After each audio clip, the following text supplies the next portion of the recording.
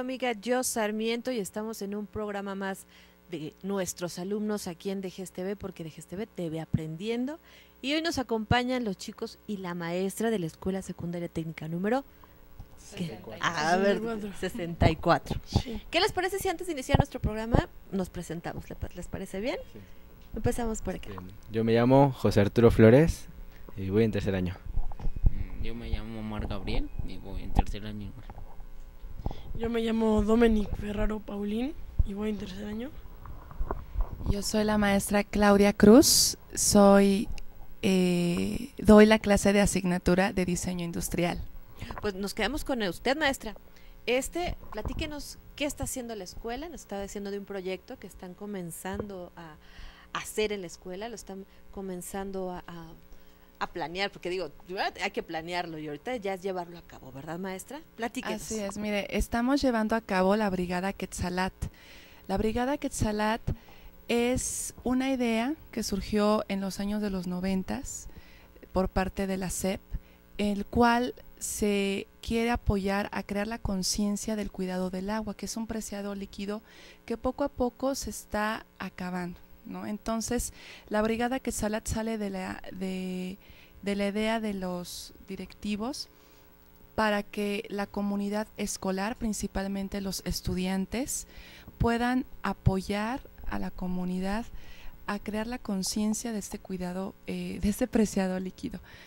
Y bueno, actualmente en nuestra escuela estamos en, el- en la etapa de organización, donde los alumnos participan realizando carteles, realizando propaganda como tipo publicidad, y la primera actividad que vamos a realizar es el de cazadores de fugas, en donde tienen ellos, en- dentro de todas las instalaciones de la escuela, buscar las condiciones de la parte hidráulica de la escuela y que no haya una fuga en el cual se esté perdiendo este líquido. Reportarla a las autoridades. Y bueno, creo que, que ellos están muy interesados, muy motivados. Afortunadamente hemos obtenido una respuesta muy satisfactoria de los alumnos, inclusive varios no pudieron entrar a las brigadas, pero creo que eso nos habla del entusiasmo, de la conciencia que están teniendo nuestros jóvenes sobre este problema. Muchas gracias. Ahora vamos con nuestros alumnos. Vamos a preguntarle, ¿por qué quisiste ser parte de este proyecto?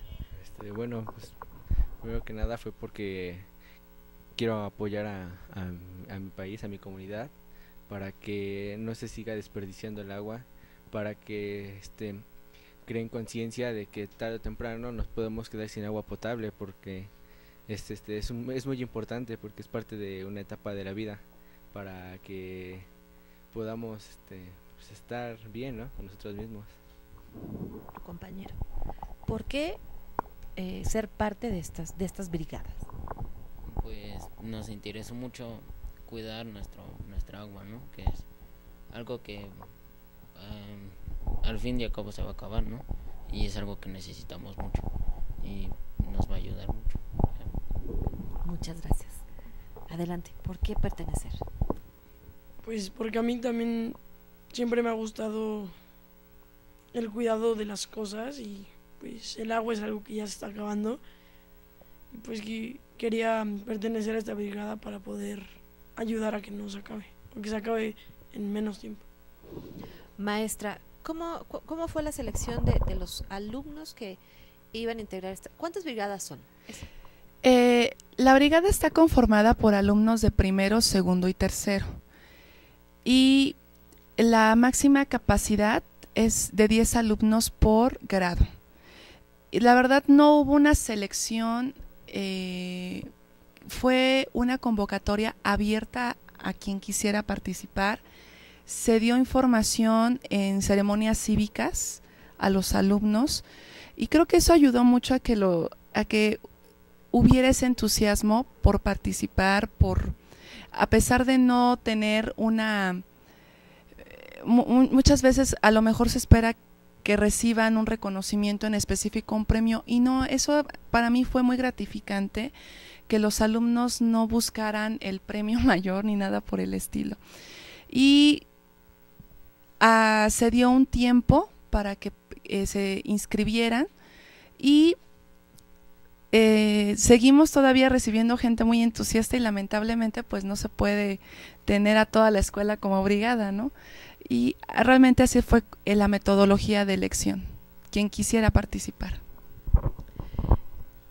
¿Por qué entrar a este proyecto, maestra? Bueno, estamos, de acuerdo, estamos platicando, porque como nos gusta platicar, ¿verdad, maestra? Eh, que la escuela no tiene problemas de distribución de agua, pero está participando y tiene conciencia. Los chicos están conscientes de que el problema del agua, de la distribución de agua, es gravísimo. Así es. Entonces, eh, la conciencia, ellos no tienen problema alguno, pero ¿por qué la escuela sí participa? Bueno, la escuela participa porque es un problema que nos atañe a todos. El agua, como muchísimos otros elementos, como el petróleo, etcétera, desafortunadamente son elementos que no van a, existir si no se tienen el cuidado necesario. Y a pesar de que la comunidad en la cual está sitiada nuestra escuela no sufre de sequías o de desabasto, pero sí desafortunadamente el agua potable que se tiene en el planeta o simplemente en la misma zona de la Ciudad de México, pues es un problema que a la larga nuestras futuras generaciones van a sufrir y, y sucesivamente los hijos de nuestros estudiantes y toda la cadena ¿no? que, que viene a futuro.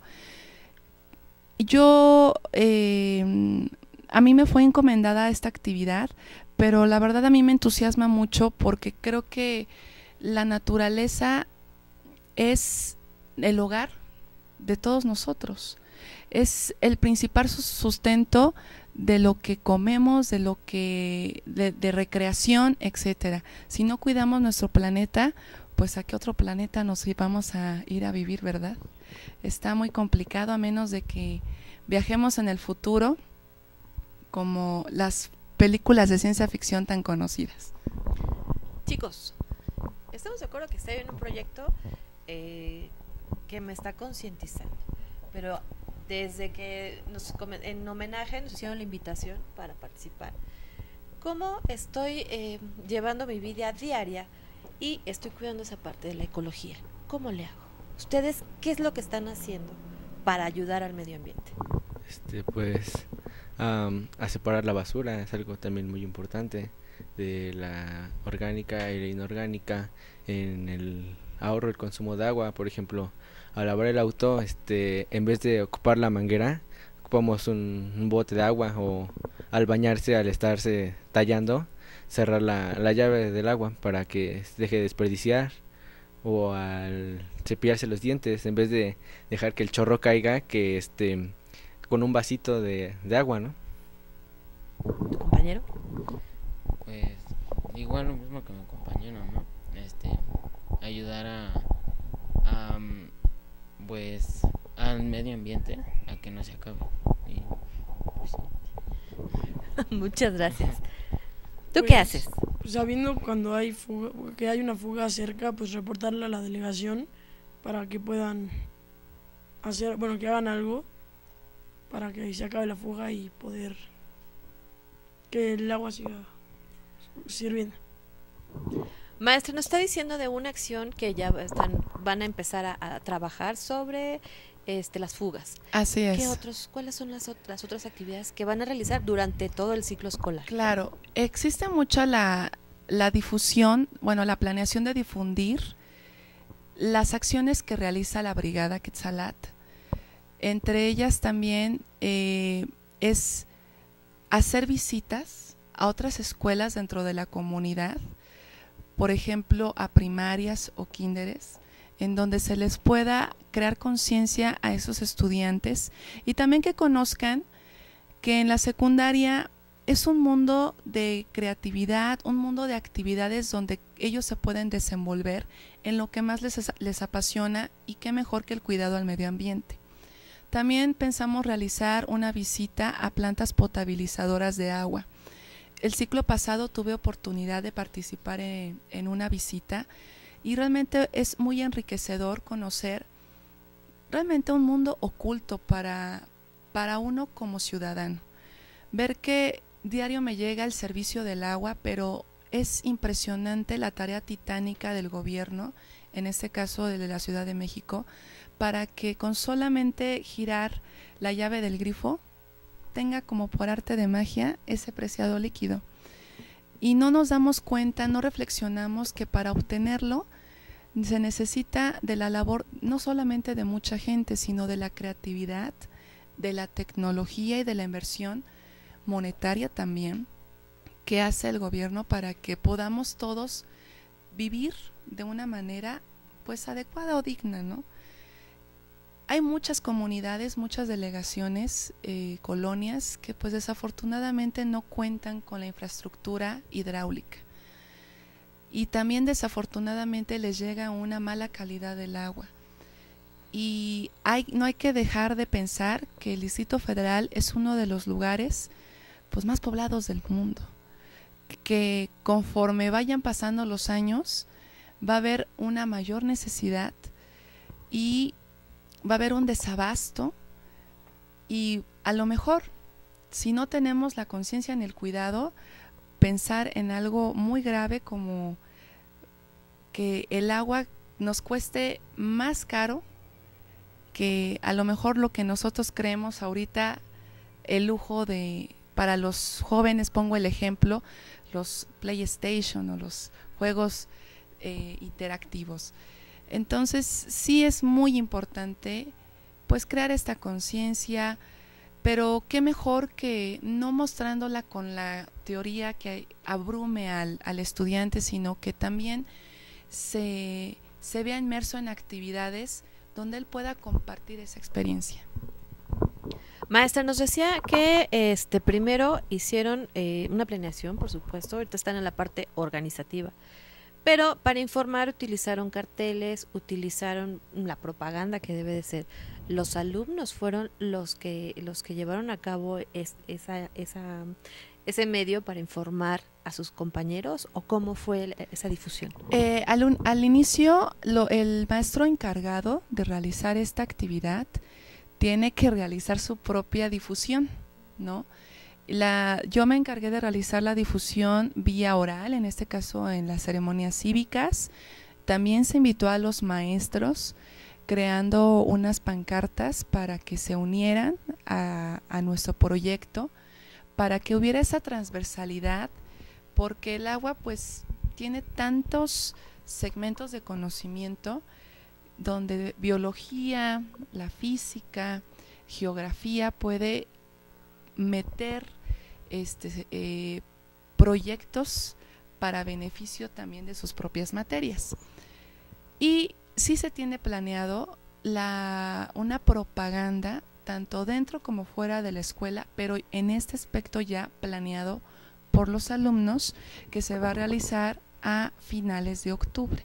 Ellos van a participar eh, con una técnica libre eh, sobre papeles craft, cartulinas, eh, donde ellos puedan expresar esa idea o decirle a sus compañeros que apoyen a la causa de la Brigada Quetzalat. ahora, chicos, ¿qué, ¿cómo estoy ayudando a mi comunidad? Estamos de acuerdo que ahorita la, la escuela, ¿cómo la voy a apoyar en este proyecto? Platícanos.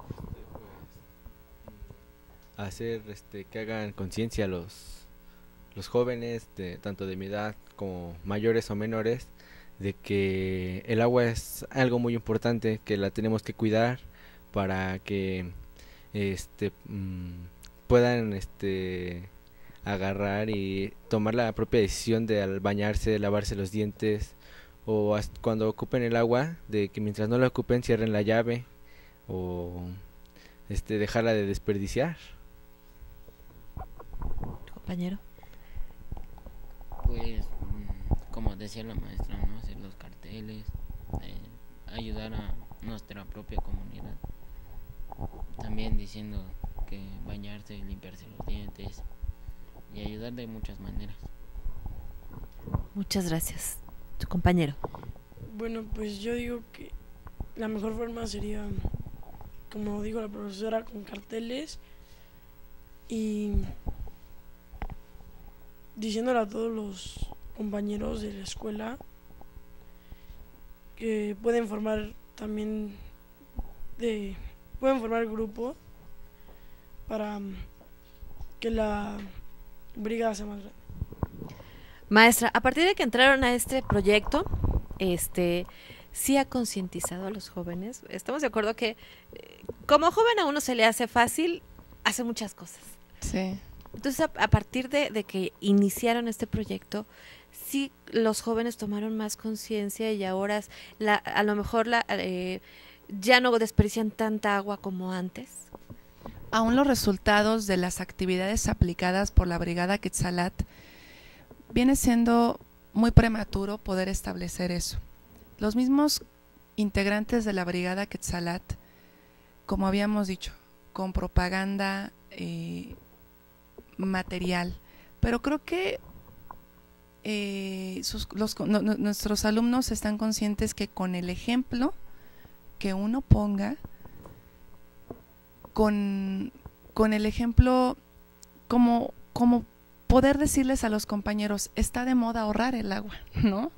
Y eso es difícil, pero creo que entre ellos pueden establecer ciertos mecanismos de comunicación, qué mejor que ellos, para poder crear esa conciencia de que gota por gota, por muy eh, esté usado este lema, pues el agua se agota. Entonces, sí es importante que inclusive en nuestras casas también pongamos ese ejemplo.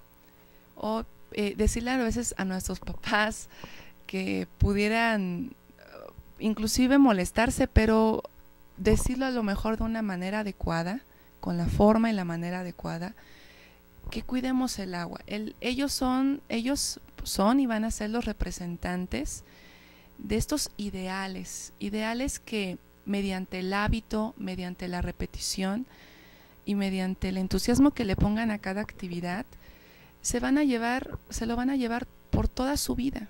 Toda su vida, ellos al tener esa semillita del cuidado, van a ir regándola a las personas que estén a su alrededor, a sus compañeros en un futuro, cuando a lo mejor estén en la universidad, cuando estén ya formando una familia, si es posible.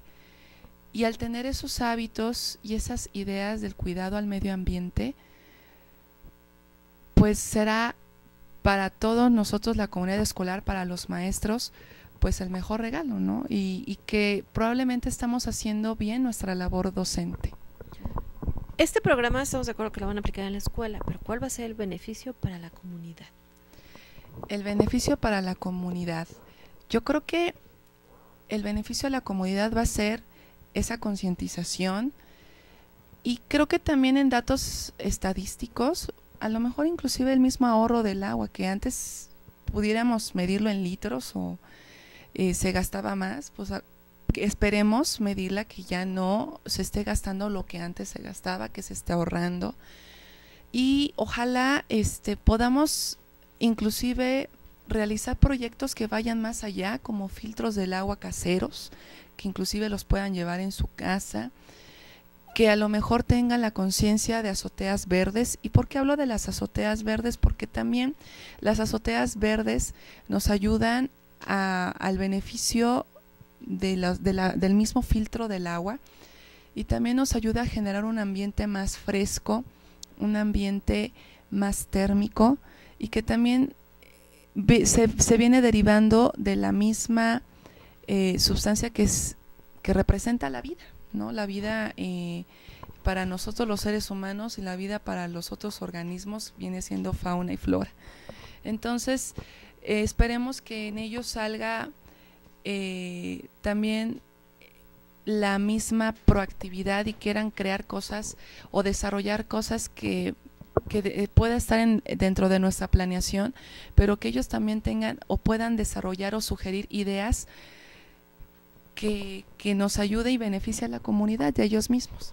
Chicos, ¿cómo va a ser mi participación en la escuela, en la casa y en mi comunidad?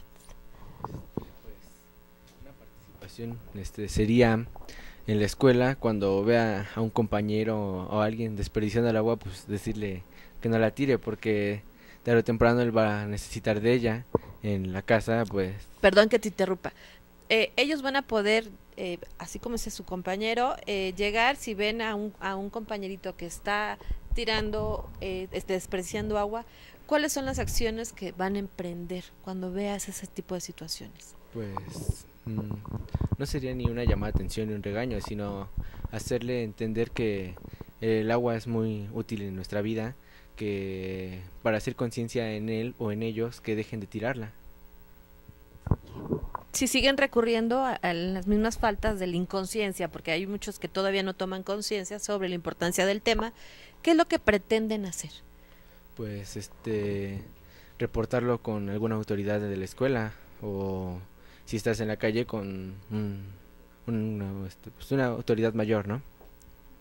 En casa, ¿cómo va a ser el apoyo que voy a tener? Pues si viera a mis primos o a mi hermana, decirle a alguien mayor, ¿no? Por ejemplo, a mi papá, de decirle, no, pues habla con mi hermana, está tirando el agua y pues tarde o temprano vamos a requerir de ella.